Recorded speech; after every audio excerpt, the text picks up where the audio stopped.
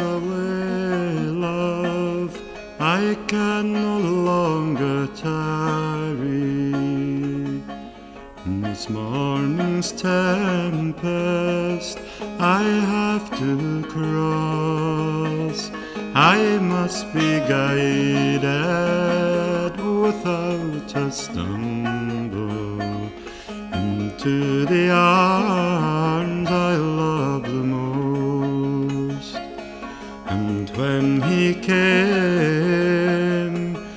To his true love's dwelling, he knelt down gently upon a stone, and through the window he whispered lowly, Is my true lover within that home? She's lifted her head from off her down white pillow. She's lifted the blanket from off her breast, and through the window she's whispered lowly. Who's that disturbing me at my night's rest? Wake up, wake up, love. It is your own true lover. Wake up, wake up, love, and let me in.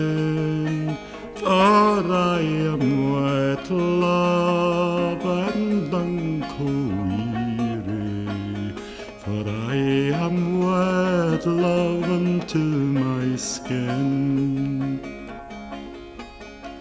She's raised her up with the greatest of pleasure. She's raised her up and let him in, and they were locked in each other's arms